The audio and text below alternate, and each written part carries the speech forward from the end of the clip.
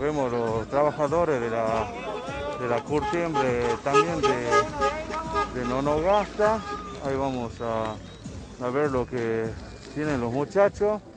Señor gobernador, hágase cargo, 800 familias que lo hicieron rico a usted. Eh, fuerte ese, ese cartel. Otro cartel que dice empleados eh, abandonados eh, por la severe de la curtiembre de Nonogasta. Y, y el otro cartel que dice respeto por los derechos humanos. Bueno, ¿quién es el que habla de ustedes?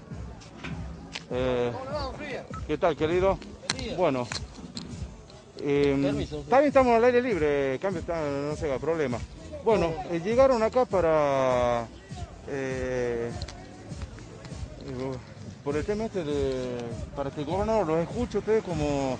trabaja- no son ex, son trabajadores, pero en stand-by, podemos decir así, de la curtiembre de Nonogasta. Sí, buenos días, Fría. Sí, hoy día nos volvimos a manifestar nuevamente, ya que lo teníamos al señor gobernador cerca.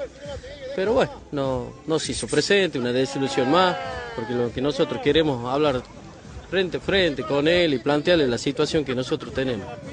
Es lamentable, ¿no? Del año pasado, de marzo año pasado, que ustedes ya, abril puede ser que ya directamente dejó de funcionar la, la empresa.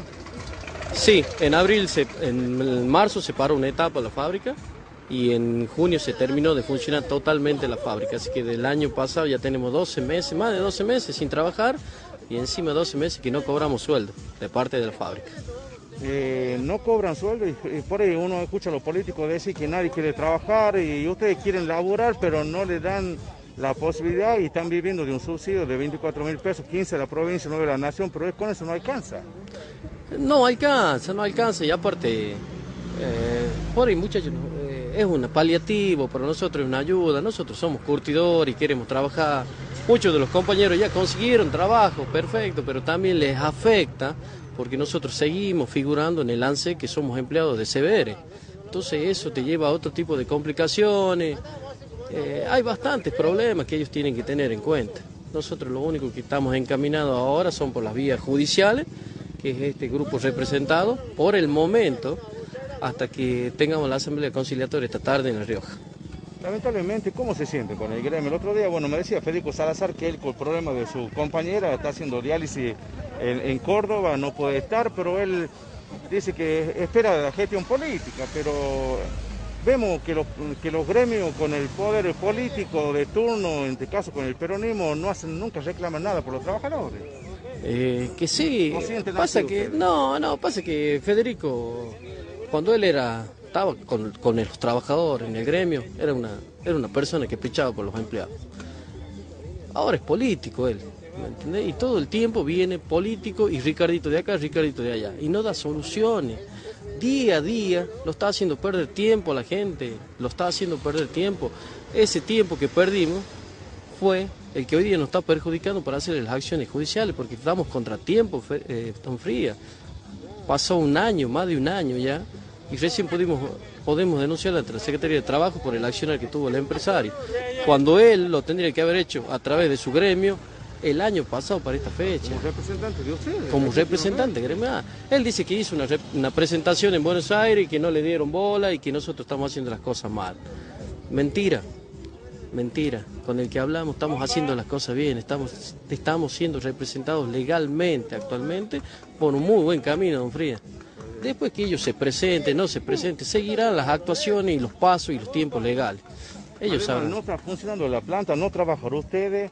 Hay muchísimos millones que no ingresan al departamento a través del, trabajo de ustedes. Porque se habla que, si hoy estuviera funcionando, el que menos correría son 60 y el que más puede superar en algunas áreas de la, de la curtiembre más de 100 mil pesos, ¿verdad o no? Sí, el convenio colectivo de los curtidores es un convenio eh, muy buen, bien pagado porque se trata de personas especializadas, ¿me entiendes? Entonces el convenio colectivo es muy bien salarial. Y la otra que los muchachos, toda esta gente es trabajadora y, metía 12 horas de trabajo, entonces los sueldos eran buenos. Y para que vos te des una idea, se gastaban toda la plata en Chilecito. Se quedaba toda la plata, don Fría. Hoy sin premios, sin nada, se están perdiendo casi 60 millones de pesos en Chilecito. 60 millones de pesos Directo, por por mes. directo. Es decir, que estamos hablando de sueldo. Así que imagínense de la parte indirecta, todas las otras empresas que medianamente colaboraban con la curtiembre. Así que como 100 millones de pesos se perdido. Y es lo que usted no ve en la calle, por eso la pobreza que hay, los comercios, la gente que se ve, son 100 millones que antes es una cadena y cayeron todos. Y es lo que tenemos que tener en cuenta, que hoy no se trata de 800 familias, se trata de toda una comunidad, de todo un pueblo que tiene que luchar para que se abran fuentes de trabajo. Con Fría, nosotros en la empresa, mírenlo los muchachos, ¿cuánto, ¿cuánto de nosotros podemos durar dentro de la fábrica? Ellos tienen que velar por el futuro, nosotros ya, que nos arreglen la situación de nuestra y después entrar a gente joven, en Fría. Esto, como nos pasó a nosotros en el 2005, en el 98, éramos jóvenes, hoy ya somos viejos, no les servimos. Que nos solucione Ya, la mayoría situación. superan los 50, ¿verdad? Los 42 años. 42 años. La mayoría, la mayoría, sí. Imagínate, llega un problema, vamos a tener 10 años más, vamos a tener 52, ya no le servimos. Exacto. ¿Me entiendes? Esto tiene que velarse por la gente joven, que la gente joven se tiene que solucionar para que la gente tenga laburo, para que el pan vaya a la casa y de plata genuina, ¿eh? Basta de planes ya, basta. Eso te, te denigra, te denigra, ¿me entendés? ¿No se sienten usados como rehenes políticos en esta situación? En parte, en parte sí, en parte sí, porque ellos nos están dando- brindando una ayuda económica, la cual estamos muy agradecidos, pero es del gobierno, entonces va de la mano, ¿me entiendes? Va de la mano. Por último, eh, ¿su nombre? Dante, Dante Torre. Torre. Don Dante Torre, eh, en esta situación de la curtiembre, eh, demuestra, eh, porque hay gente que, que son, han trabajado en la con muchos años de anterioridad, me decían que el gran problema que tienen hoy los empresarios es que no conviene eh, trabajarlo al cuero, sino venderlo en crudo hoy, y eso es lo que ustedes están padeciendo ahora. Sí, es ¿Se muy cierto, eso? sí, sí, es muy cierto lo que te dice porque lo- las empresas exportadoras de cuero se beneficiaron en toda la pandemia. Mentira que le fue mal, no, se beneficiaron. Porque cuando comenzó la pandemia, todo lo que son los frigoríficos no tenían a dónde entregar los cueros, don Fría. Los tiraban a los cueros, los enterraban, don Fría. Entonces el gobierno tuvo que tener consideración con los, con los frigoríficos y volver a abrir las curtiembres porque las curtiembres los tomen. Cuando las curtiembres, cuando el frigorífico le lleva la curtiembre, le dice, pero ¿por qué- ¿para qué te voy a comprar el cuero si no tengo a qué venderlo? Si la pandemia me cerró China, me cerró en todos lados. Entonces llega un momento que el cuero se los regalaban a los frigoríficos. ¿Me entiende? El arancel para expor- exportación era del 15%. El gobierno lo tuvo que bajar a cero. Se los regalaban en el cuero para que lo exporten. Hasta todo el año 20, 20, hasta enero del 20, eh, hasta, ene- hasta diciembre del mes 20, el impuesto fue cero para exportación. Entonces se beneficiaron, se llevaron el cuero gratis. Ni les convenía traerlo a, a producirlo en Argentina.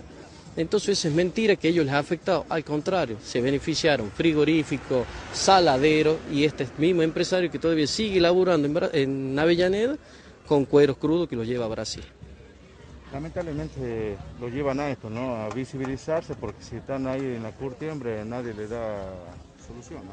Y es la verdad, nosotros tuvimos que salir a la calle en el mes de junio para que esto se conozca, don Fría, para que usted, gracias a usted y a todos sus compañeros, los medios radiales, volvieron a, a empapar del tema a la gente de lo que se estaba perdiendo en Chilecito. Y si no salimos a la calle nadie nos escucha, si no manifestamos nadie nos escucha, para ellos está todo bien. Y ahí están los actores y los teléfonos descompuestos que te hacen creer que todo está bien. Y en la realidad todo, la verdad que no está nada bien, en el sentido de la curtiembre. Muy amable. No, por favor, su servicio.